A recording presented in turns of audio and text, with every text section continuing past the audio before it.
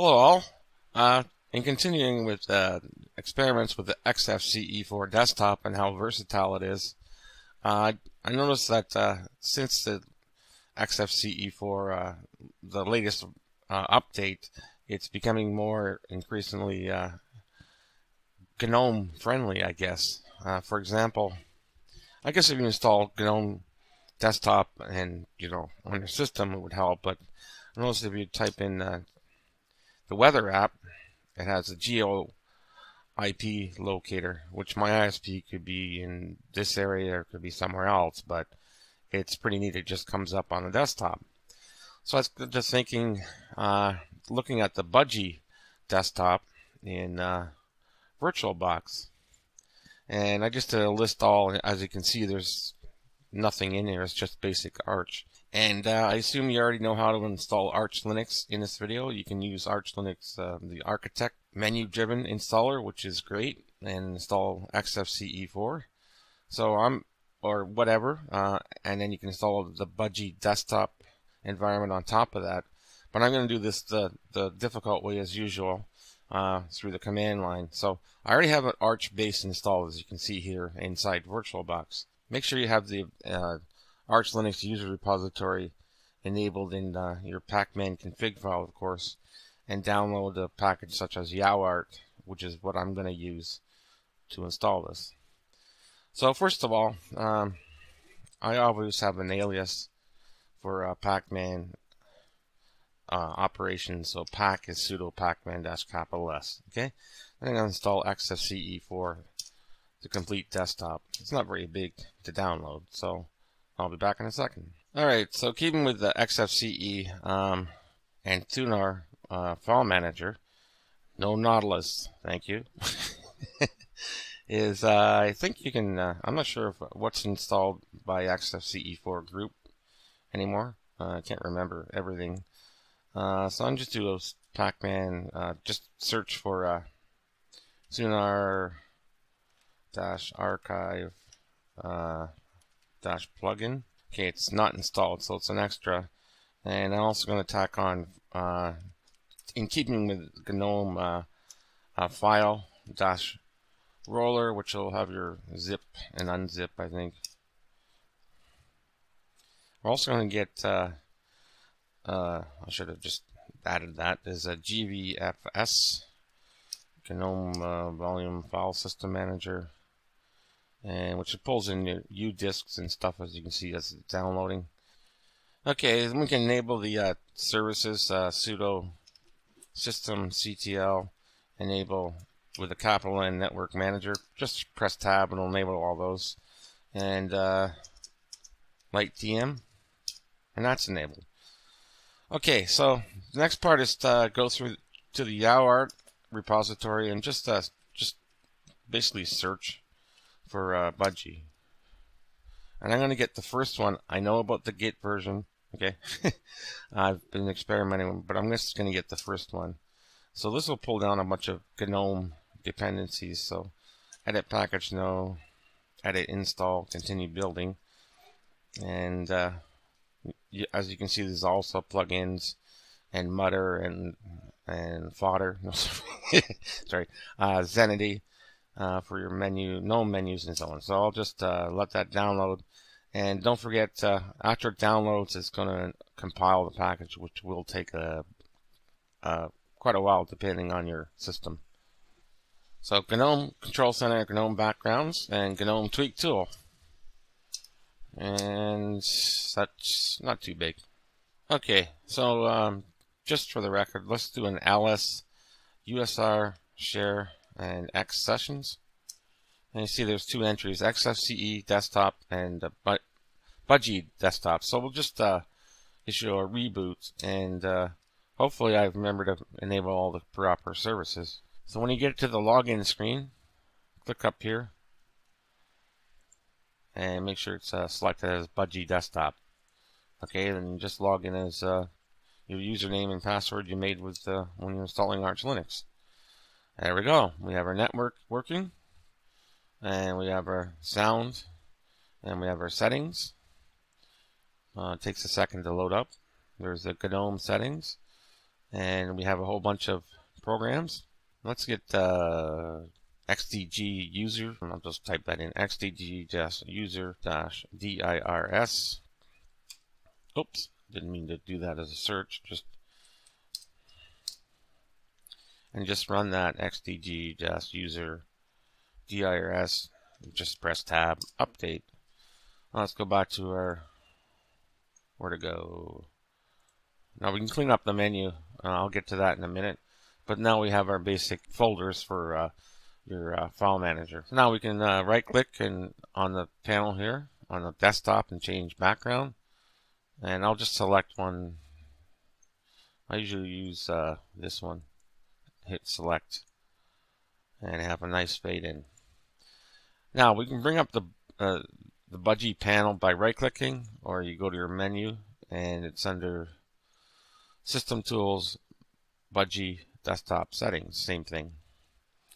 And under panel uh, in VirtualBox it doesn't look so great so I just uh, disable the panel so switch that off. I disable the shadow and that looks a little better now to get things like um, minimize maximize and close button, uh, you have to get that uh, dconf editor. Okay, so you go to org.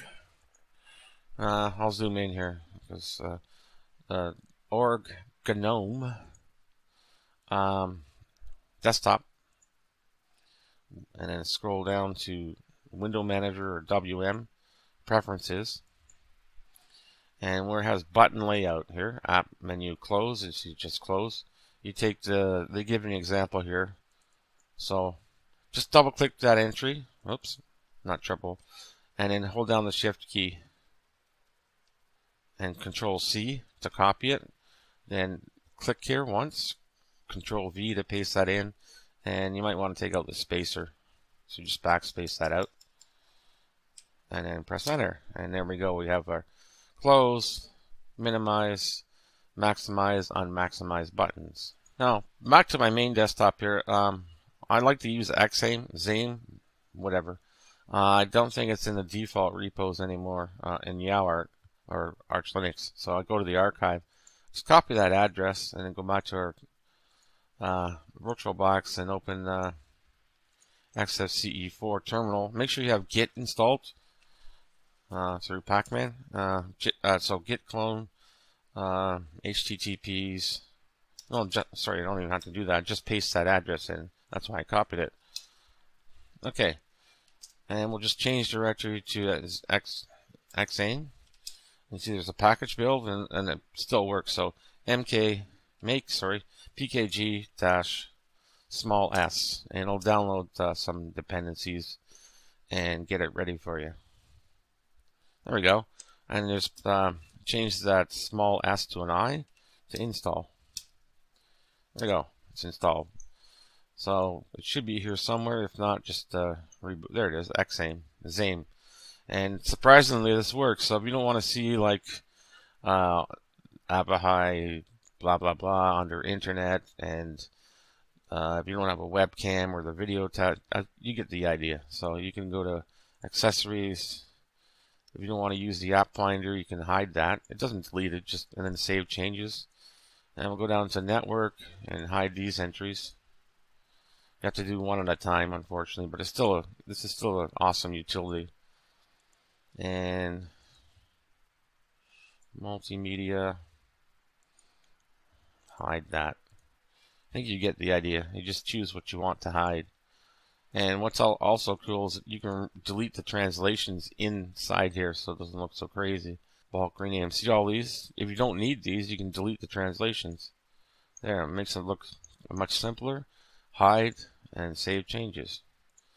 Okay, I haven't gotten everything, but I think you get the idea how to use it. So it's cleared up the menu a little bit there. So I just installed GNOME Weather. I'm not sure it'll show up yet. Sometimes it doesn't. Another. No, it doesn't. So either a logout or a restart should fix that. And I like this uh, logout dialog, lock, uh, logout, lock, suspend, restart, all in one. I think that's uh, a better way, personally. There it is, weather. I'll see if the GeoIP kicks in or not. There we go. Let's give it a bit of time. And now we have our GNOME weather, but without the other sometimes, depending who you are, of course, and your preference, some of the annoyances of, of GNOME uh, shallow, basically. Okay, so I have installed a, a theme, uh, GTK theme ARC, and it comes in a couple of varieties. So you go to preferences. Here it is, ARC Darker, or ARC Dark, or just ARC. You can see the different examples. So you open uh, your file manager, and you know you can select what you want, basically. And uh, I think you can handle the uh, keyboard shortcuts I think GNOME uh, Control Center will handle what you have. So you go under keyboard and shortcuts. I'm not sure if you press the home folder and you want to change that to you know, open your file manager. Alt H is what I usually use. So just change that. Press Alt H. And yeah, sometimes I'm not sure why the uh, why it's not grabbing the window. I don't know if you can do that with a dconf editor or anything, but this is obviously our file manager. And of course, uh, custom shortcuts you can add, uh, just give it name terminal and XFCE for dash terminal. And then assign control T for example. So control T and alt H. There we go. Now we have a graphical front end for uh, the ALSA mixer. And we're going to have to just unmute the channel. And look at this, you can do the speaker test, left and right, for example. And we got that working. Okay, uh, I should mention something uh, I forgot in the beginning. If we're going to use a helper to for packages like a PAMAC to install or update, to remind you of updates, uh, make sure you get Alex Session so if I open the terminal, just to make sure, uh, sudo pacman dash capital S LX session. It's already installed, so make sure you have that installed, and then I know it's a little tricky. You go to your home folder and go to, uh, oops, sorry, it's not capturing that. Uh, USR share applications. So session and startup, okay? Uh, auto start and there'll be an entry already made. Just make sure it's ticked and probably just restart and then uh, you can use the uh, software um, and if you want to, like the update manager and you want to go to preferences you'll it'll prompt you for the LXSession uh, polkit and that should cover it so I'll just do the uh, full screen test there we go and uh, let's open a few things, files, and uh, there is a workspace switcher in the uh, panel here, preferences, workspace switcher add. And he's over here now. Uh, you can tell it to be in where to go. You can place it in the status area, and now it's here. If you want, it's uh, totally up to you. So you can Control Alt and arrow key to go back and forth if you want to have that kind of thing. Okay, so that should do it for this one, and thank you so much for watching, and we'll talk to you soon, and bye for now.